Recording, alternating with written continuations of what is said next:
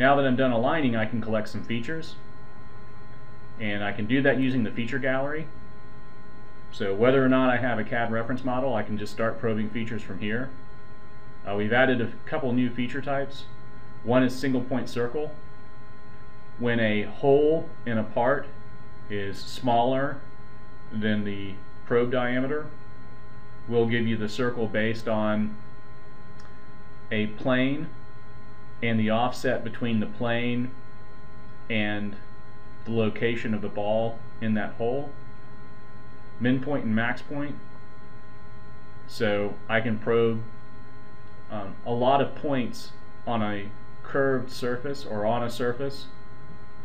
And the software will figure out the min point or the max point relative to a the normal direction of a projection plane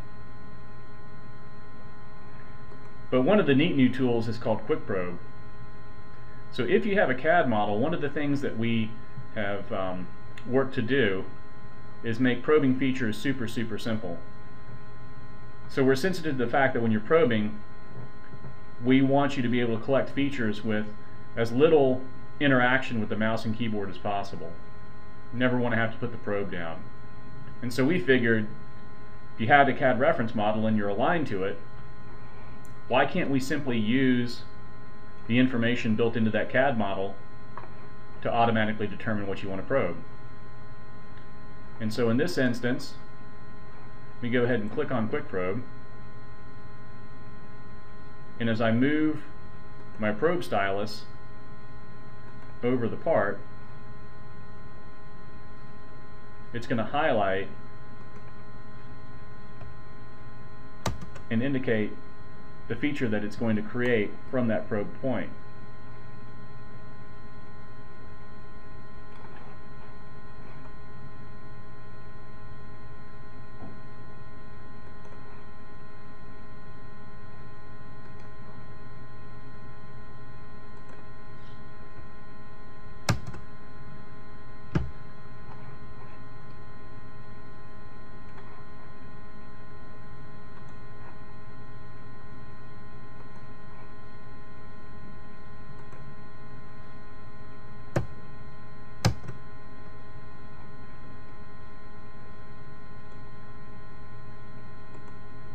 Here I'm going to go ahead and probe a couple planes.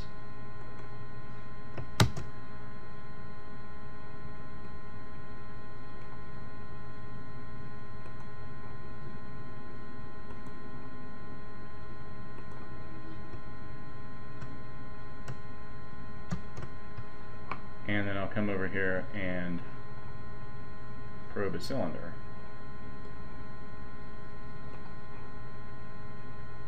Or rather in this case, say cone.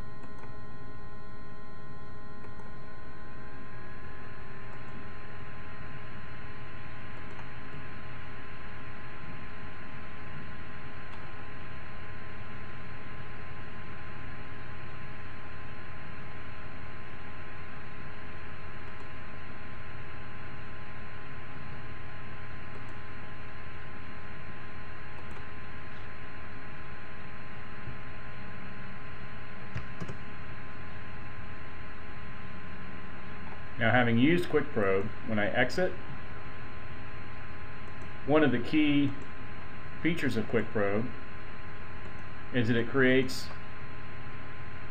the nominal as well as the measured features. And this has some interesting implications for analysis. So one of the things I can do is immediately go to a compare features view and start creating feature annotations.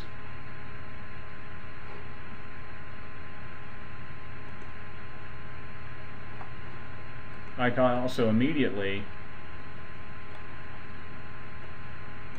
start creating and evaluating GD&T results. And so here you're going to see the evaluation of a GD&T callout based on the points, as you can see here, the points taken for that given feature.